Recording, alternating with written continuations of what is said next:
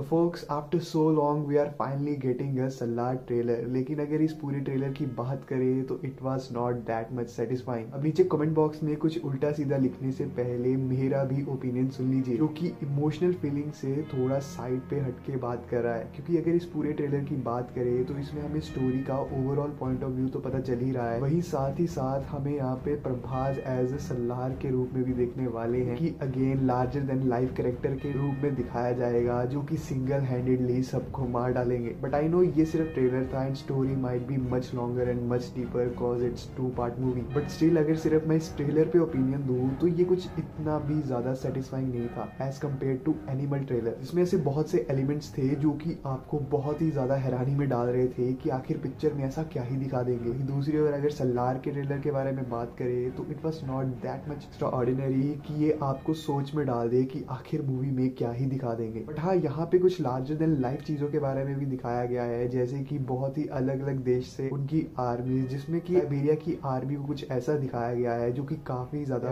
vibe दे रही है but still it was not that much satisfying जितना इंतज़ार हमें इसके ट्रेलर के लिए ही करना पड़ा इस साल हमें और किसी भी चीज़ के लिए इतना इंतज़ार नहीं करना पड़ा सलार मूवी के हिंदी ट्रेलर के बारे में बात करें तो उसके नीचे जितने भी कमेंट्स हैं वो सिर्फ घूस बम्स के अराउंड ही इवॉल्व कर रहे हैं क्योंकि और कुछ इस ट्रेलर में हमें देखने को नहीं मिला बट आई होप इस मूवी में हमें इससे भी ज्यादा कुछ देखने को मिलेगा क्योंकि it's already a part of K G F universe and still most of the movies के ट्रेलर खराब जाते हैं लेकिन movie out of the box जाती है इस मूवी से ही वैसा ही एक्सपेक्टेशन है और वही दूसरी ओर अगर मैं इसी ट्रेलर को रिमाइंड करते हुए एनिमल मूवी के थिएटर एक्सपीरियंस की बात करूँ तो वहाँ पर भी ऑडियंस यही बात कर रही थी कि अगर अब इसके बाद वो कोई अगली मूवी देखने थिएटर्स में विजिट करेंगे वो डेफिनेटली सल्लार ही होने वाली है फैन बेस पूरे तरीके से रेडी है तो अब इस सिर्फ मूवी के रिलीज होने का इंतज़ार करना पड़ेगा तो इस ट्रेलर के बारे में आपका क्या ओपिनियन है मुझे नीचे कमेंट बॉक्स में ज़रूर बताना तो मिलते हैं किसी अगली ऐसी वीडियो में तब तक के लिए थैंक्स फॉर वॉचिंग